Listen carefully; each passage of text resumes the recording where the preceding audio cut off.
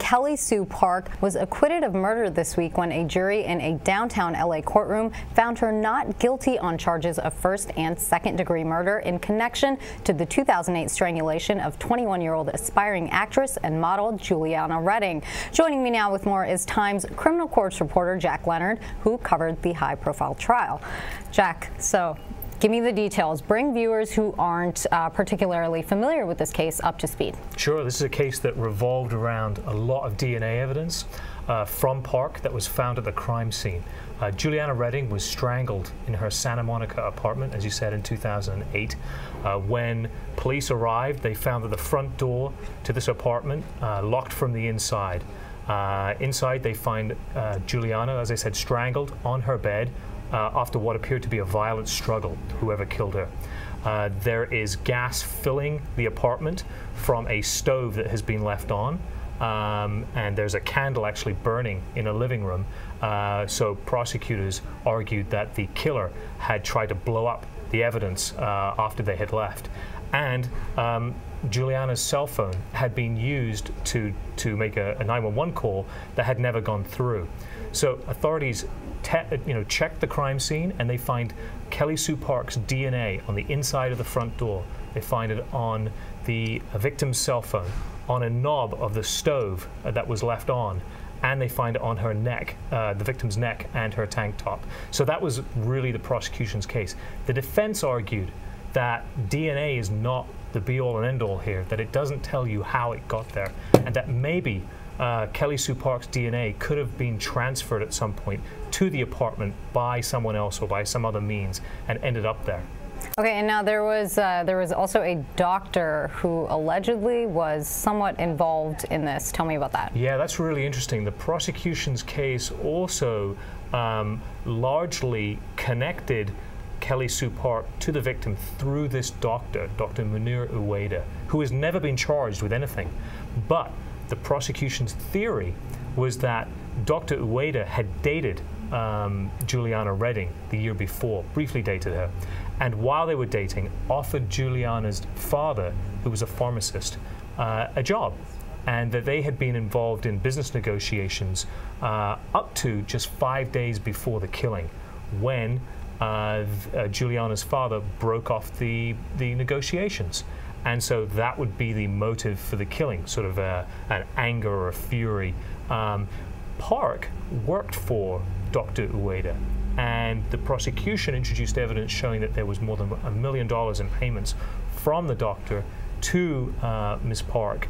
Um, some of it around the time of the uh, the killing, and some of it uh, later. Um, what's interesting here is, as I said, you know, Dr. Uwaydah has never been charged with anything. He denies through his attorneys that he had any involvement in this. Um, the jurors never heard that prosecutors believed that he fled to Lebanon once um, Kelly Soo Park was arrested, uh, and that he was paying for, that prosecutors believed that he was paying for uh, Ms. Park's defense. Okay, so we have a uh, an alleged relationship between the doctor and Ms. Park. We also have um, uh, you know, all this DNA evidence. Mm-hmm. There seemed to be a lot of this DNA evidence. How do you think jurors kind of came to the conclusion of acquittals? That's a great question. And jurors never talked to the media afterwards. They actually left via a freight elevator in the courthouse to uh, presumably to avoid reporters. So we don't know for sure. Um, the defense uh, says they believe that, that this is not a surprise because um, they, they raised a lot of questions about the prosecution's theory. Uh, mostly, you know, um, they suggested that there was no evidence uh, to show why someone like Park, who had no uh, record of violence, uh, would suddenly commit such a brutal crime. Now, uh, on the prosecutor's side, they're also not saying anything after this um, you know, after this verdict. But uh, last year, prosecutors were prevented from presenting evidence to the jury that they say would have shown that Park acted as an enforcer for this doctor, had gone out and uh, tried to intimidate uh, other people who'd run afoul of the doctor, business people, uh, into um, you know paying uh, whatever money the doctor uh, felt like he owed. That was what the prosecution argued. The defense argued that the, these were that the prosecution had you know distorted these events and that she was merely uh, encouraging people to pay up a judgment that they owed, and that there was a far cry from doing something like that to actually strangling somebody.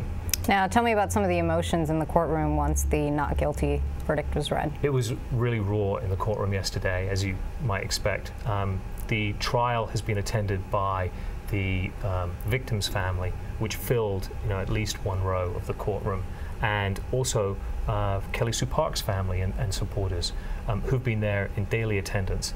And so you knew that there was going to be, whatever happened, one group of people who'd been there were going to be extremely upset. And when the verdict, shortly after the verdict was announced, and the judge had pulled the jurors and had left the bench, uh, that's when the emotions spilled out. Uh, some of the supporters of the victim shouted "murderer" at Kelly Soo Park. Uh, uh other, uh, one man stood up and shouted, "This is a travesty of justice."